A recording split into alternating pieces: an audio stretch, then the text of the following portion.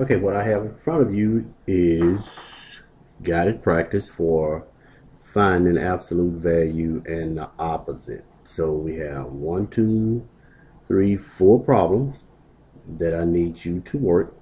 And of course, as always, please pause the video, um, come up with your assessment um, or your position, whatever your answer, however you may deem and then check back by taking the video off pause. So we have find the absolute value of a negative 16 and find the opposite of a negative 16. You're doing two things.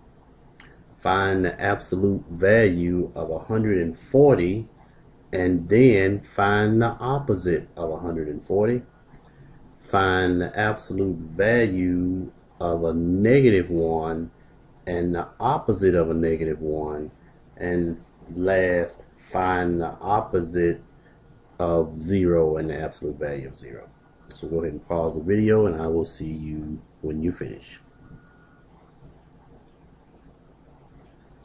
Okay so when we talk about absolute value again finding the absolute value is the first thing they're asking us to do.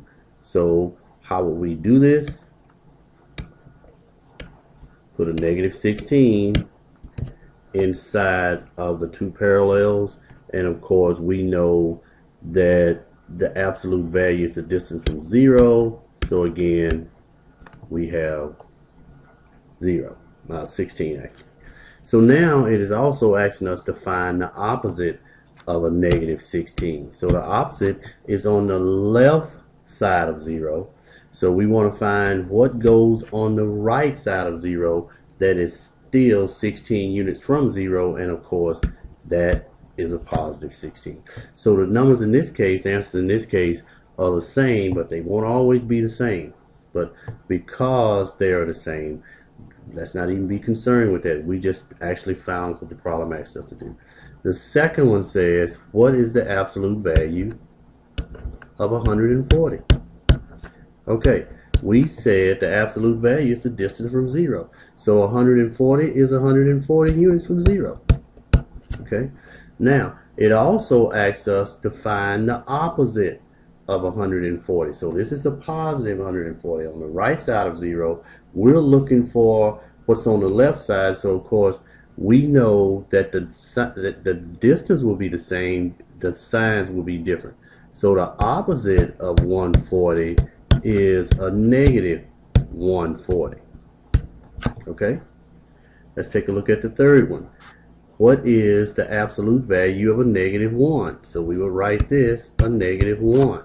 And of course, the absolute value is bringing it out. And there we go.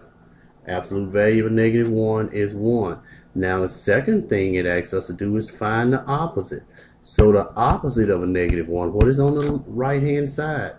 That is exactly one unit from it with a different sign, and that will be 1.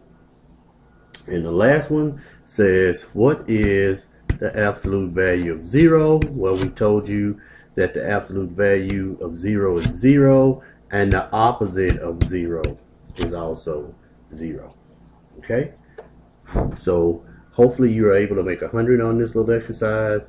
If not, just go back through the preceding uh, videos and come back.